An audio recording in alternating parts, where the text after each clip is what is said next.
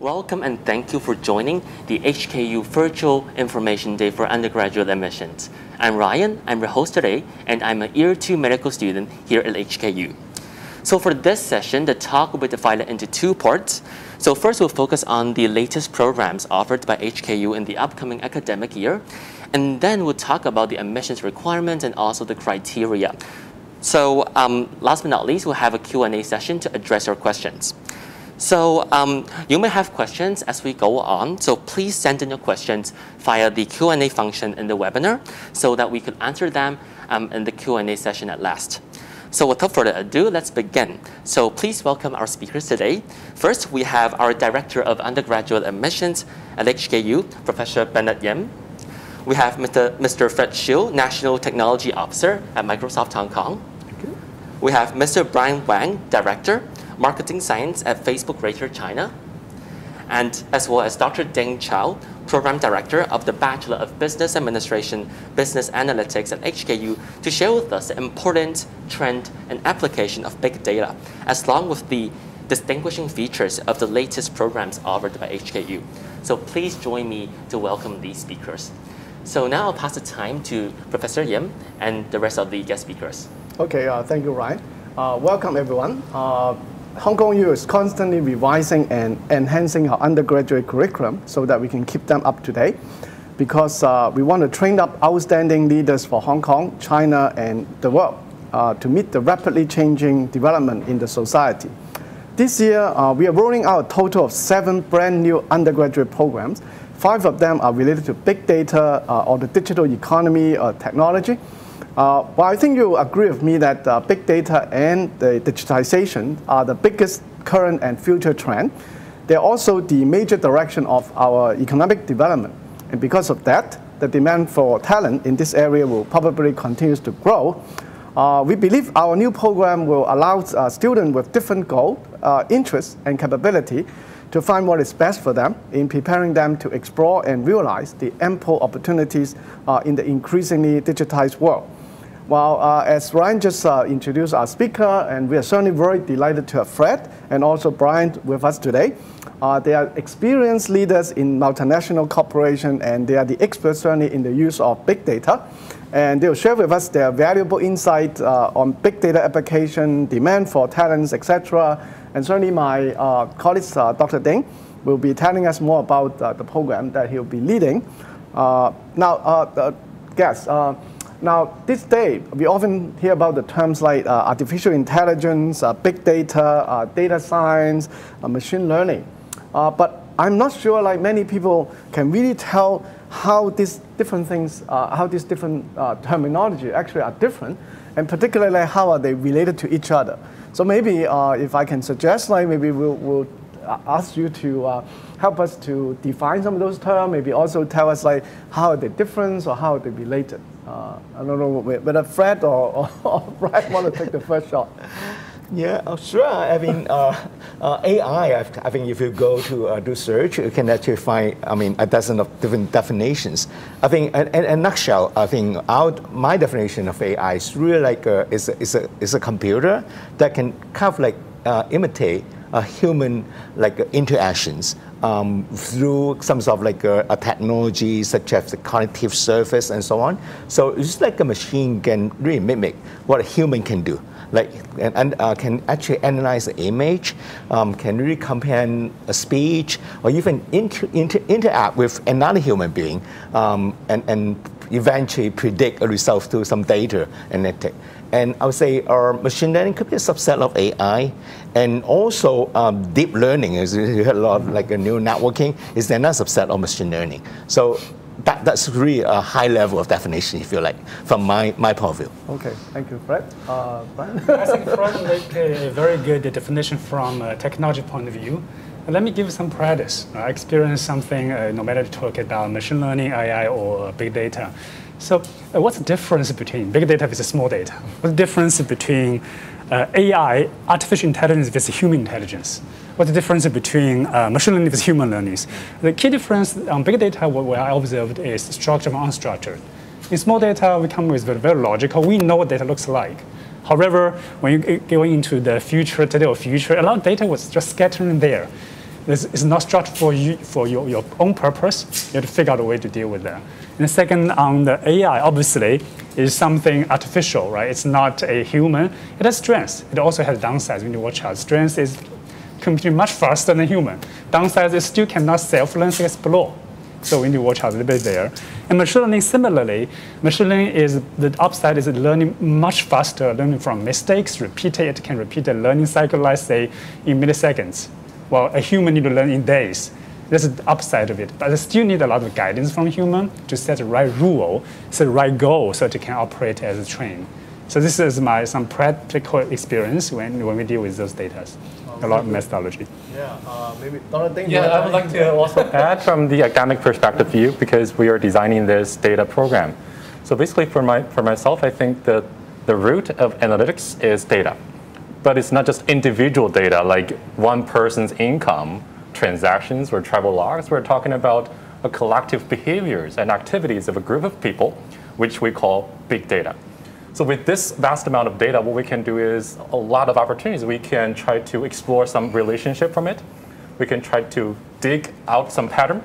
We can try to use it to predict for future happenings. We can also use it to learn some strategies and so on. So that's uh, really easy to, to, to, say all that. But actually to do them, we need to have different methodologies.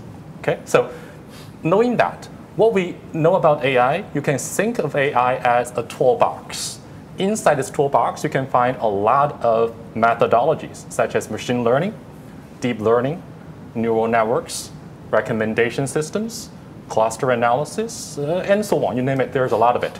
So each of these serves a particular purpose, depending on what data you have and depending on what objective you have in mind. Okay, so, so don't get uh, intimidated by these fancy terms.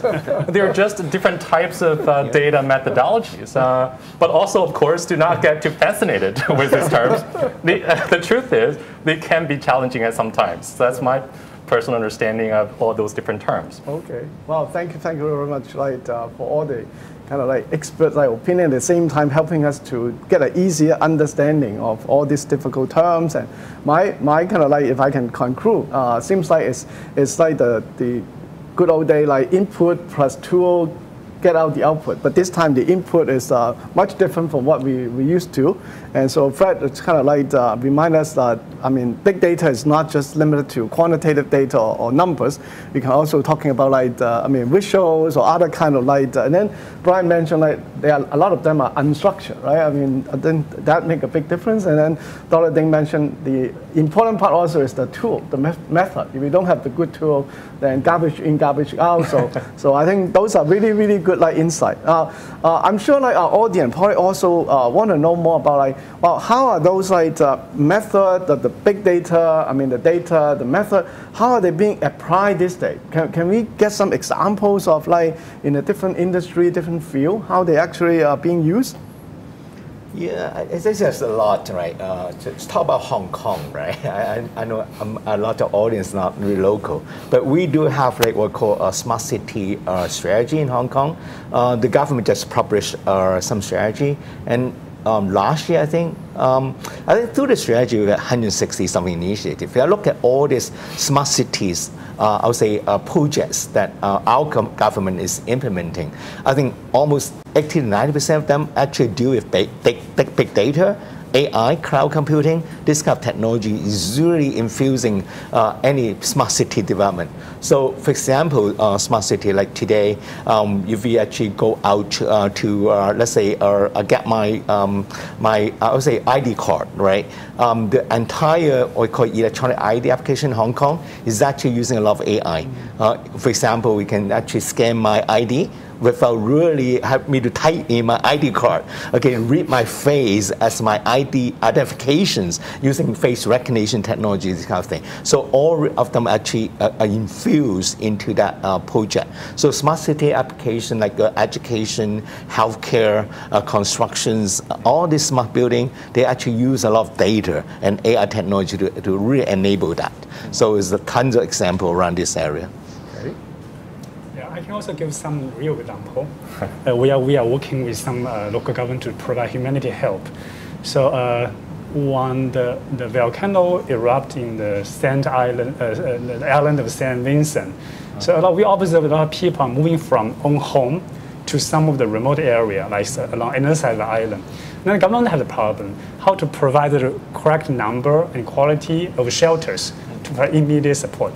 In other ways, you have to make the phone call one by one. It takes times, but we are partnering with government relief efforts to try to use that population identity map, and we can identify where is the most condensed population that need help and where there might be less. So they help the government to allocate the, the, the right amount of shelter service to help the people in difficulty to come with difficult period. I think this is a pretty tangible, and then because of the data, the government can react much faster, much, much faster. Yes so than before. I think this is uh, also a pretty interesting example we have seen in practice.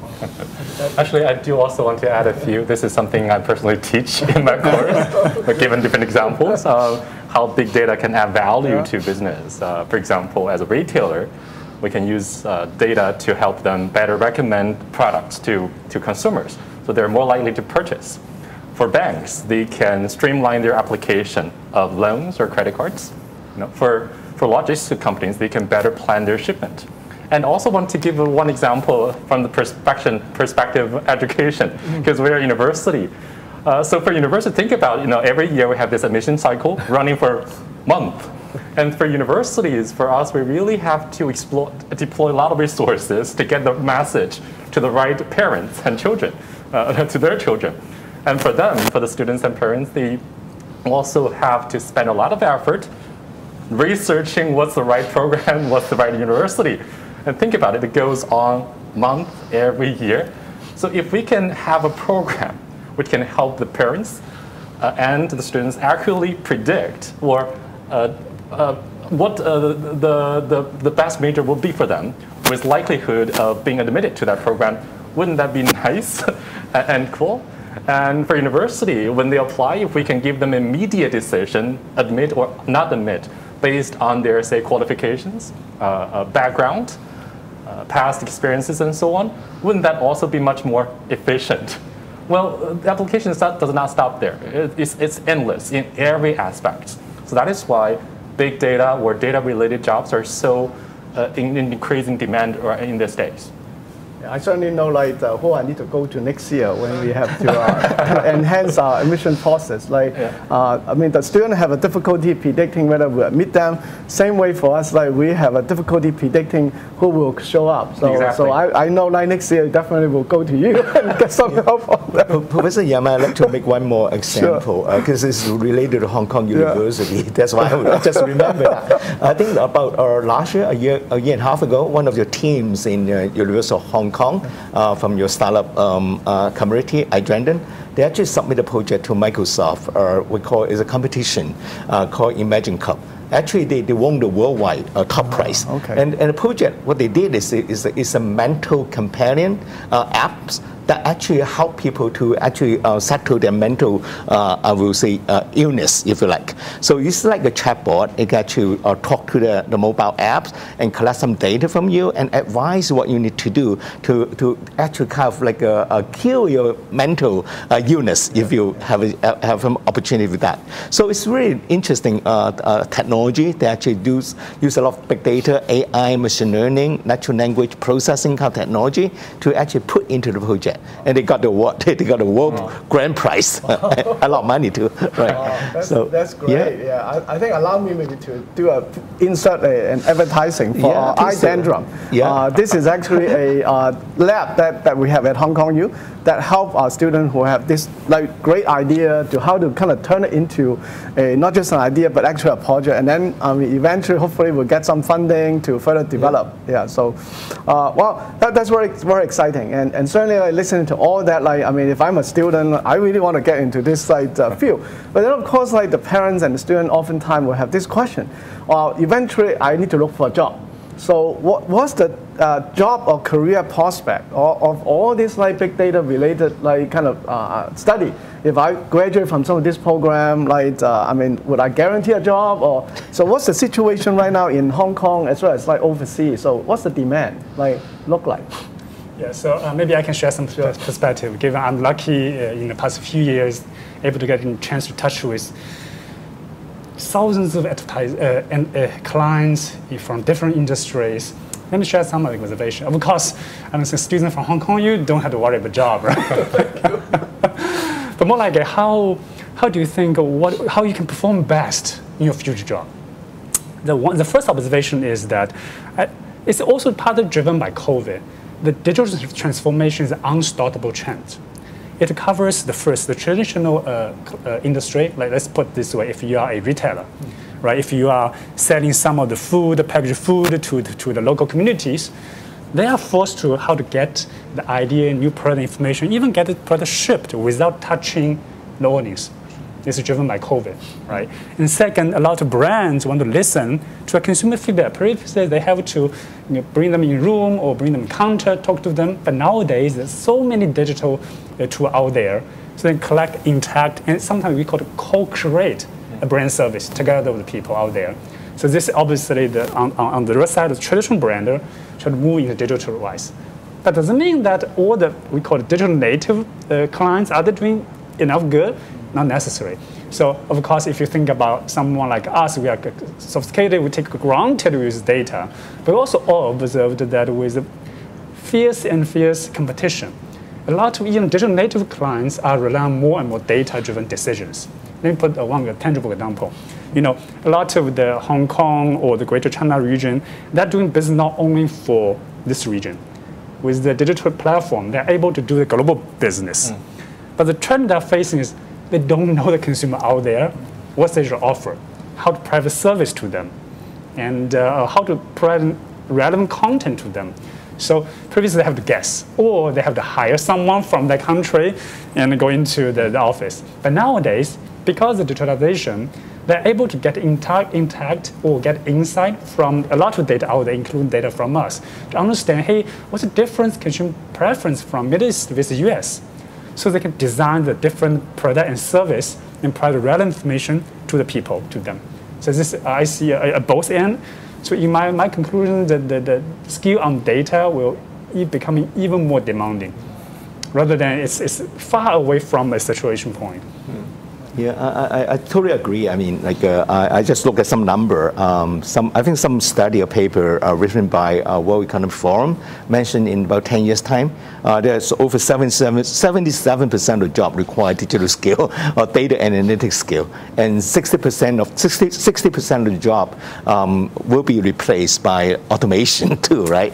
So uh, I think uh, in order to really catch up this, like I would say, a knowledge-based economy, I think having digital skill or data analytics skill is important. So we just cannot rely on like an engineering produced by like double E or computer science, I mean department in all the university, or even all the graduate add up, we're just not able to fulfill what the market need. I think having these new programs, define new programs within Hong Kong U in different disciplines, including like business school, uh, medical school, or even like liberal arts, right? I think it's, it's tremendous. I mean, um, um, that and the survey actually is before COVID, right? With COVID, I think the digital transformation is accelerating, like uh, much faster. And hybrid world, like uh, online shopping, online everything, you need more people with data analytics skill.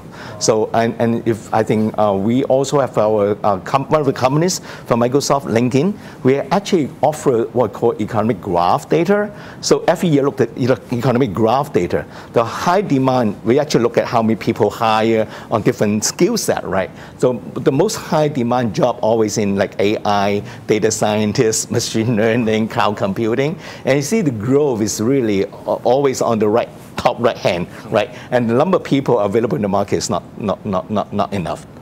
Yeah, that, that's all my input. So I think uh, having that skill, uh, we definitely need this kind of like, uh, skill to actually help our economy to grow. Exciting like Yeah. career prospect. Yeah. Yeah, actually, uh, pretty much uh, covered exactly what I want to say. Uh, I totally agree. Um, the pandemic definitely has accelerated this uh, digitalization. We're seeing more and more services moving online. And just one thing to add, um, I think, and also agree with Ryan, I think this trend is irreversible and will continue to hold even after the pandemic. I think from the university perspective, in, in the past two years, we have adopted a few measures to counter this uh, pandemic situation. We have moved things online.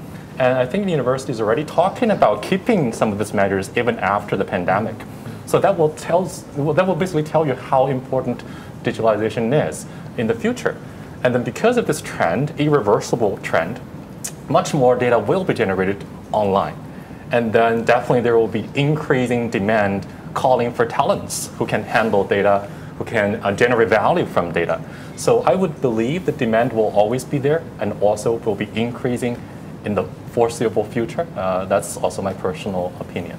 Wow. So, so first of all, we have like interesting subject matter, exciting kind of like uh, study, and then we have great like career prospect. And I'm sure the next question some student will be asking is like, I mean, am I qualified? Like, I mean, would, would this kind of wonderful prospect, wonderful future available for everyone, or, or it's only available for certain kind of students? So, so I don't know whether our guests can kind of maybe give us give the student like some insight on is that particular type of student should fit there, or everybody have an opportunity? Yeah. I love to provide some insight here, given I'm interview uh, hundreds of people in my past few years, uh, where Facebook is growing, we're trying to recruit the best talent into the, into the company.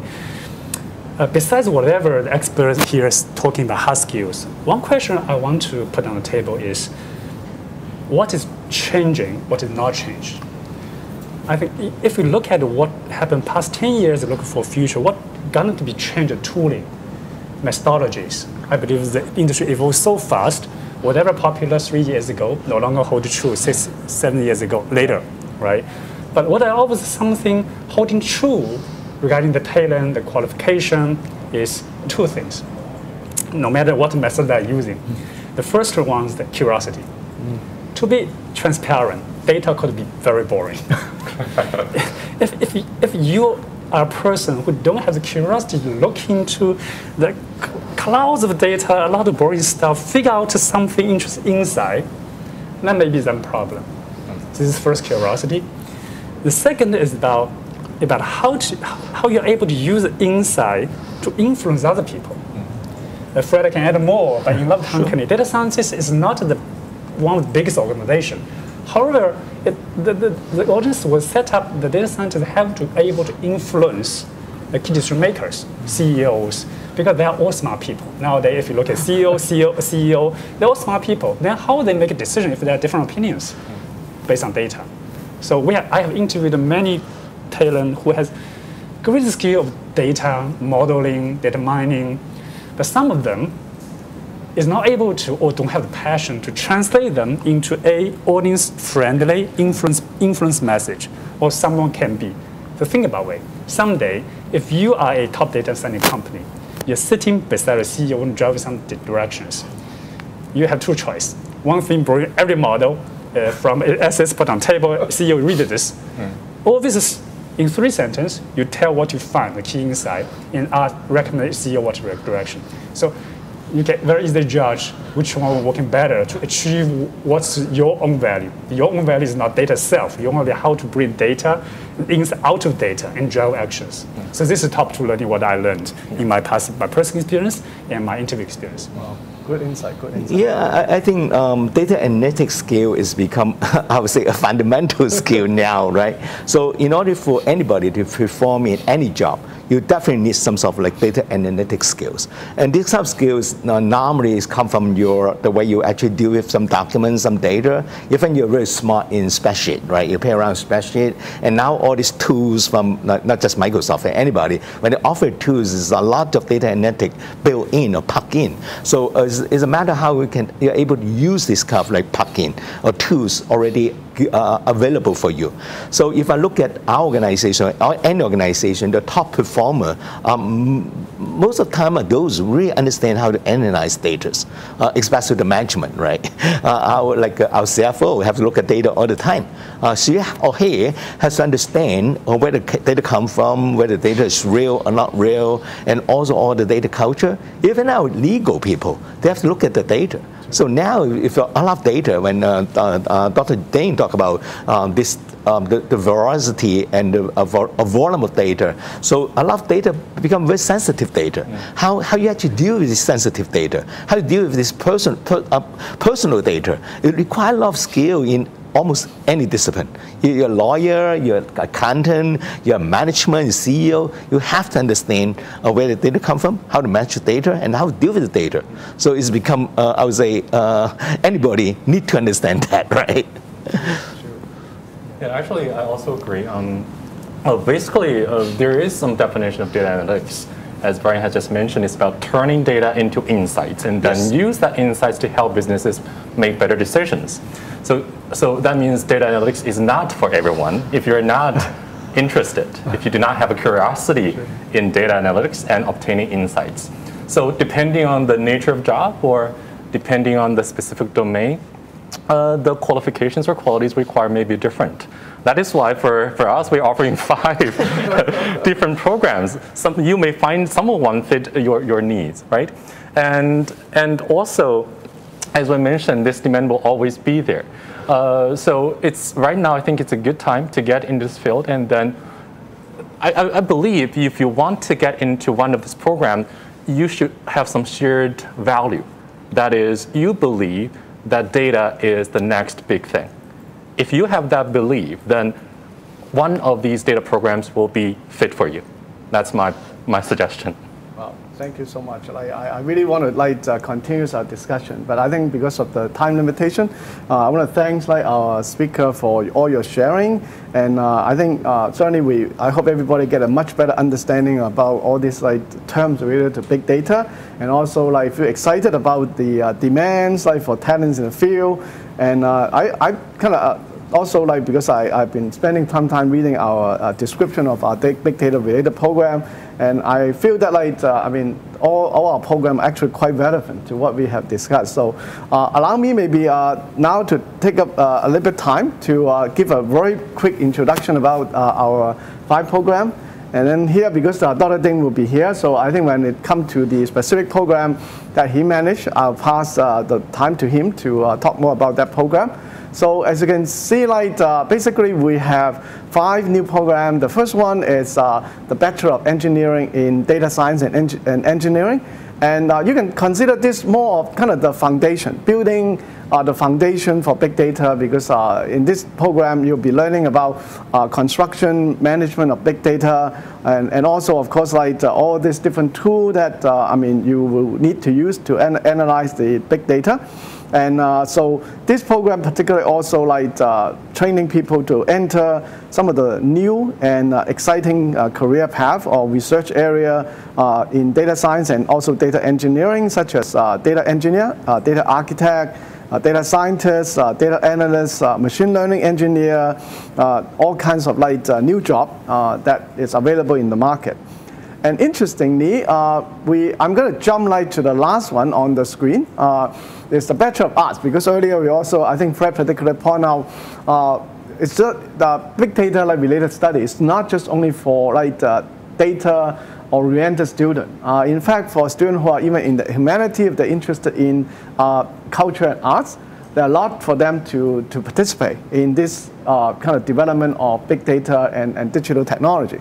As we can see, like in the uh, arts field, we have the crypto arts this day. We have many of those, like uh, I mean, culture and arts that uh, are moving in the direction, same direction in digitization. And this particular uh, program obviously is trying to combine the talent in both culture, uh, arts, uh, humanity, as well as like the digital technology. So those of the students who are interested in arts, but also want to kind of get a ride on this uh, digitization trend, obviously this will be a program that you should uh, spend some time looking at.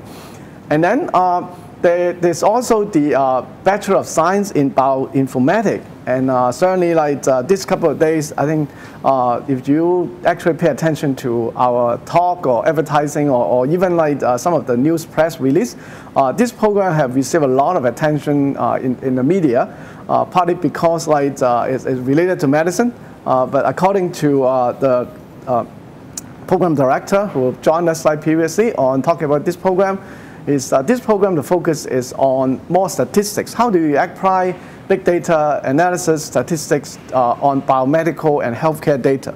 And everybody knows this day like uh, healthcare is a big issue affecting a lot of people in the world. And uh, those uh, big data analysis will obviously help address many of the problem that we are facing.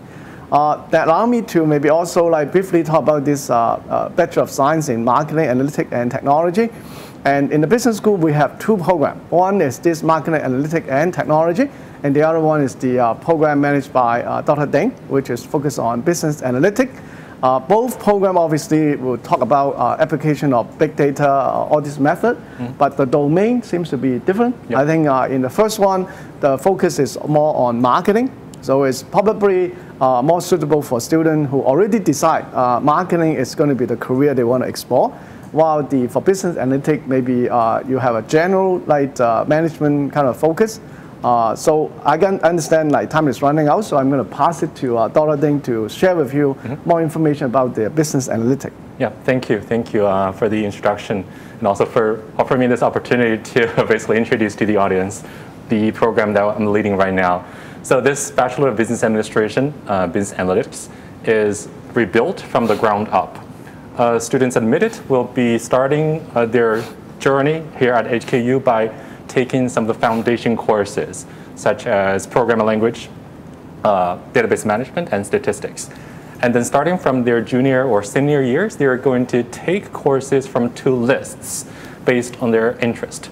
List A are courses relating to the data met the methodologies that we mentioned earlier, such as machine learning, uh, deep learning, uh, recommendation, natural language processing, clustering, and, and, and so on.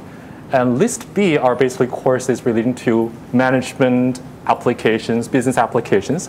And these courses are uh, visualization of data, project management, uh, and so on. So basically, students can take based on their interest. So our hope is to basically train well-rounded data talents who can adapt in the business world. And then later on, they can basically uh, specialize in one or two domains uh, along the way.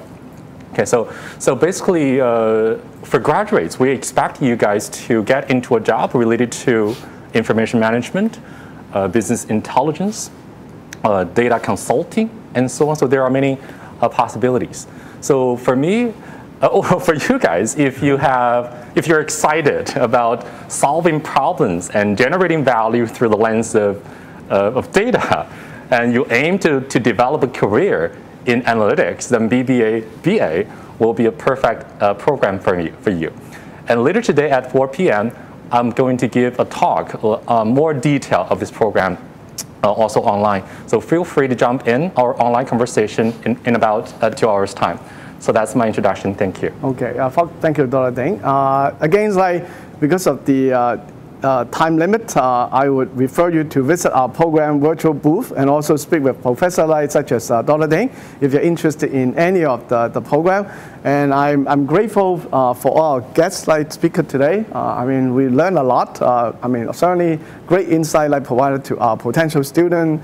And I mean, if, if I'm like, I mean, 30 years younger, I certainly will jump into this like, industry that all you are talking about. Uh, it's definitely very exciting. Yeah, thank you so much. Ying Choi, the Student Recruitment Counselor of the Admissions Office.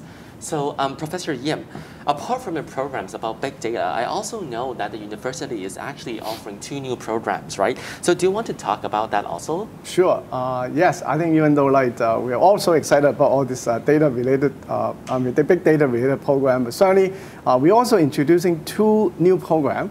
And again, it's like uh, just like those big data program, we develop them to meet the market need and also student need. So this new two new program, we are also like uh, having the same purpose. The first program is uh, the Bachelor of Psychology. Now, of course, like psychology is not like, uh, I mean, kind of a very new discipline compared to maybe the, the new data science uh, uh, principle that, I mean, the discipline that we talked about earlier. Uh, the reason why we introduced this Bachelor of Psychology is because in the past, we have a lot of students telling us when they are interested in psychology, they have to first like select the, uh, the degree in social sciences, and then they get after getting into the uh, faculty of social sciences, then they can select the psychology as major. And many of them said, like, I already know, I really want to go into psychology. So is there a way for me to directly enter a program that focuses on psychology? So, so basically, this program is designed to uh, kind of reply in, in response to, to uh, uh, what they request.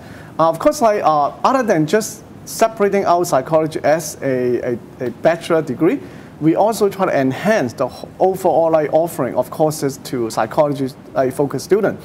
Uh, so for example, like we will focus on enhancing the research capability of these students because uh, many of these students will not just uh, just stop the studying after the undergraduate degree. And many of them will go on to actually pursue higher degree. And so for, for those students, research become a very important part for them. Now, other students may pursue a uh, career uh, after their graduation. So in this program, they also be providing, uh, providing enhanced uh, career planning, career guidance, so as uh, to make sure the student can actually get a good start in, in uh, starting a career in uh, field that are related to psychology.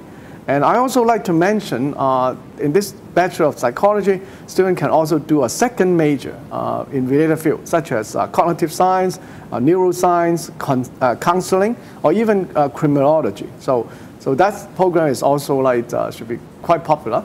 another new program is, is a double degree Bachelor of Science and Bachelor of Law. So if you look at the title of the program, you can probably tell uh, it's an integrated program. Uh, it's a five-year program. Students have to spend uh, one extra year studying because of the uh, content is uh, much richer. And so they will be doing a lot of courses that integrate uh, understanding of science as well as like understanding of legal aspect. And as I mentioned, like we designed this program to also meet the need of the, the market. And so many of you probably um, understand this day, many of the new startup company they would develop new technology and they oftentimes have to apply for uh, patents. Or sometimes they have to also have to uh, get approval, uh, like medical uh, equipment or medical like uh, related uh, kind of product. They will have to get approval from like FDA or maybe other other related like kind of authority.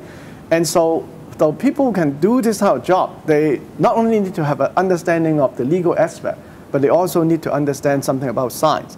So basically this program is designed to help students who are interested in entering those careers uh, in order to, to definitely meet the, the challenge of the market in, in terms of uh, like uh, approval, in terms of like the patent application, or even in terms of like the intellectual property protection, uh, which is a very uh, important field. Uh, so those are the two new programs. Yeah. Right. Thank you, Professor Yim. I think um, our students are now introduced to these two new programs, and um, it's really exciting. So um, meanwhile, I actually see that there are actually many questions in the Zoom chat and also in the webinar. So please keep sending uh, questions through the Q&A function at the webinar. So the, and the collected questions will be answered in the Q&A session later. So before we move on to the Q&A session, I know that Ying and also Professor Yim would like to update us on a bit of the admission requirements, right? Yes. Thank you, Ryan. Thank you so much, everyone, for listening through the session. I hope after you have heard all these exciting updates about these new programs, you're now eager to learn how you could be a part of the HKU undergraduate student population. So here, there are a few things that you should know. First and foremost, I would like to talk about the admissions pathway. If you are a student studying an international qualification, such as the IB diploma or the GCE A level, in the, or, or, a regional or national qualification that we do recognize, um, you will be able to apply through the international slash non-JUPAS admissions pathway, regardless of the passport you're holding. We are already accepting applications for the 2022 intake now, with a first round evaluation deadline of November 17, 2022 after which all applications will be considered on a rolling basis, subject to program availability. Because of that, we highly recommend students apply early in order to secure an earlier offer with us. Next, we want to talk about the admissions requirements. Professor Yim, could you tell us a little bit more about what students should pay particular attention to when they're researching that uh, piece of information on the website? Well, of course, uh, the most important things uh, you should kind of pay attention to will be all the uh, admission like requirement, right? Because uh, at Hong Kong, you are trying to make all this like uh, requirement as transparent as possible, and all the requirements are listed on the website, and they're also set in such a way that if you meet all the requirements, we, we want to make sure like, uh, I mean, those students who enter in the program will be able to do really well in our program. And for instance, each year we'll publish uh, the expected uh, lower boundary So students can actually, based on those information, to have a very good uh, estimate of how likely or how competitive they will be for entry into a very specific program. And we update those information every year based on the previous year's uh, uh, result. Yeah. And in the same way, uh, regarding other requirements uh, such as English language requirement, because uh, you, all you probably know, uh, Hong Kong U is uh, using English as the only teaching medium. So for at least like uh, most of, almost all of our program. So having a good like level of English understanding is very important for your success in studying at Hong Kong U. And then um, in, in addition, basically half, close to half of our program do not have any program-specific requirement. But the other half, if you happen to be selecting those programs, you want to also pay attention to whether those programs have more specific requirement. I'll give you an example. Some of them may have requirement on math and also like on English. Uh, and some programs, for example, those are uh, program in engineering, they may also have, uh, need a requirement on uh, science science subject. Uh, so basically, uh, all, all these uh, admission requirements are set to make sure when we admit you into one of our programs, you will be able to do well in the program. Thank you, Professor Yim.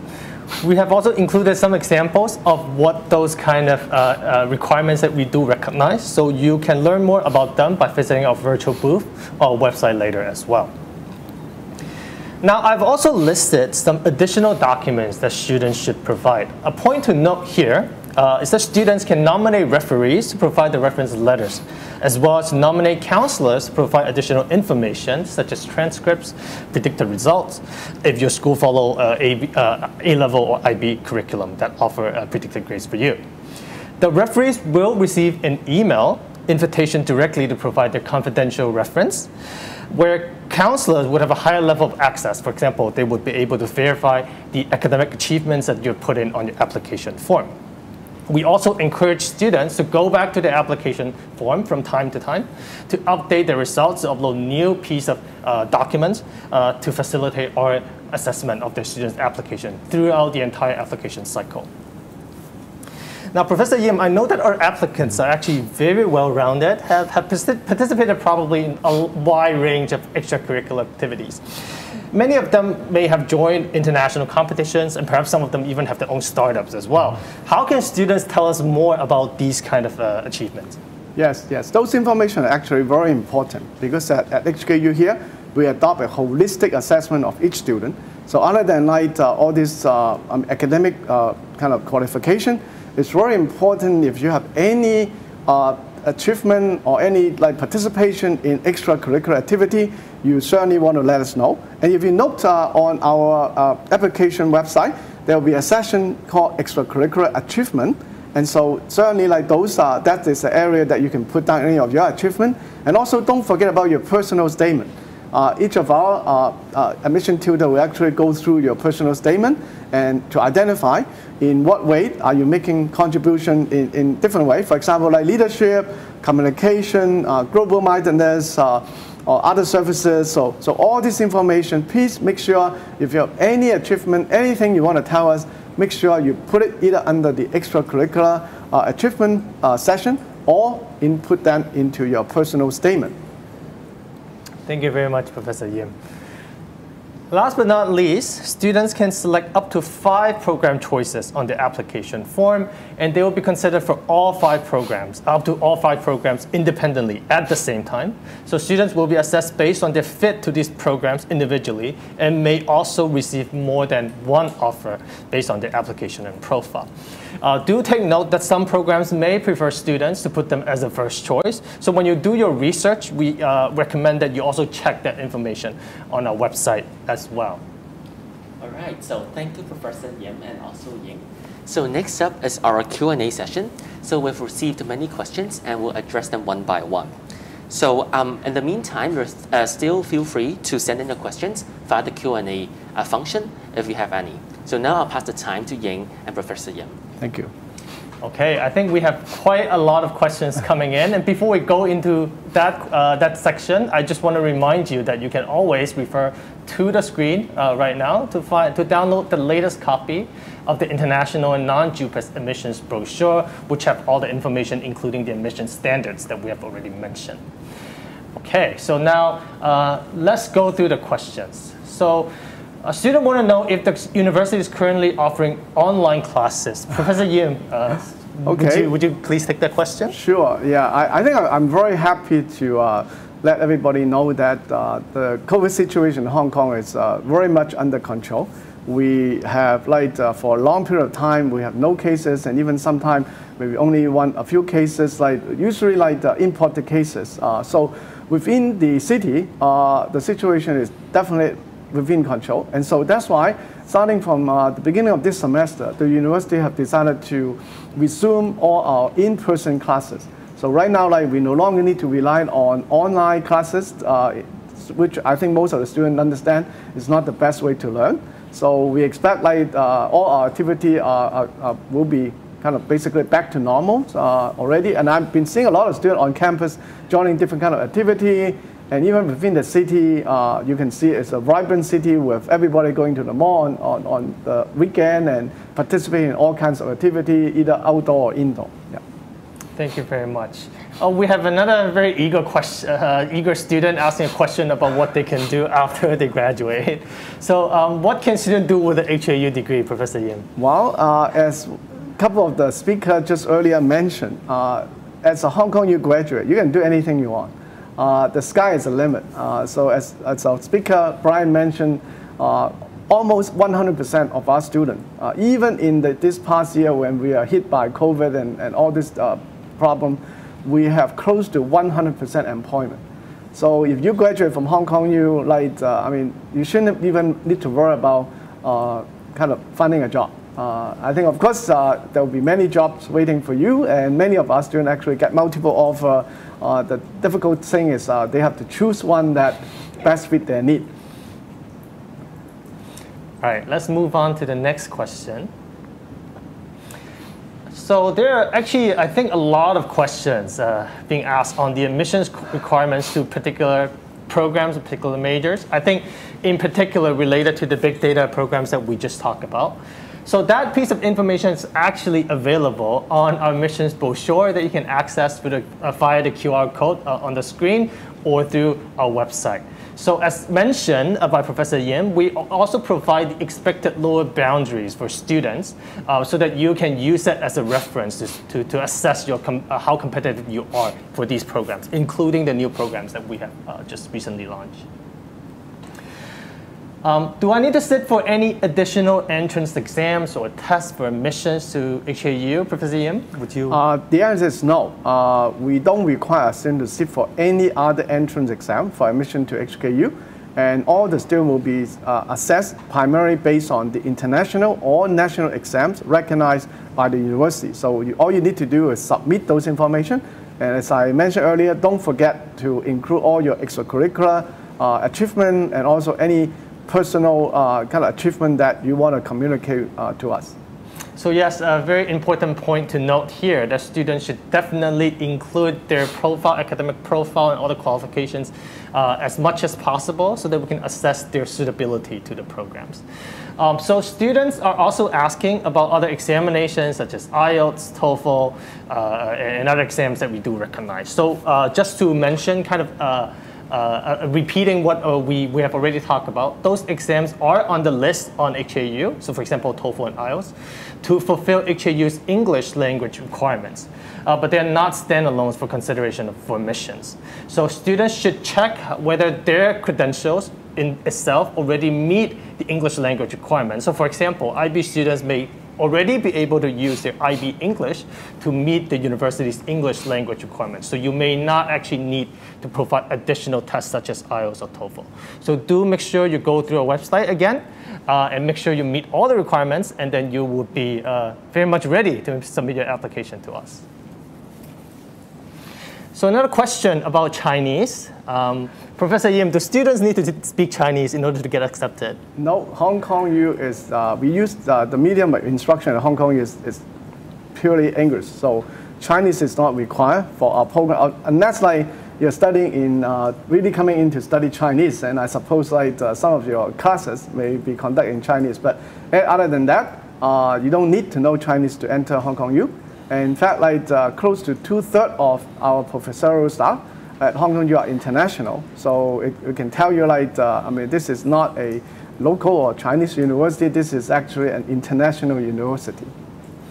Yes, uh, just one note to, to add. Uh, sometimes the Chinese requirements may be in place for particular programs if there is a need for you to communicate that to uh, the, your clients or patients, for example, in the healthcare industry. So there may be additional requirements, but all such information is already published on a website. And as Professor Yim mentioned, all programs actually will be taught in English.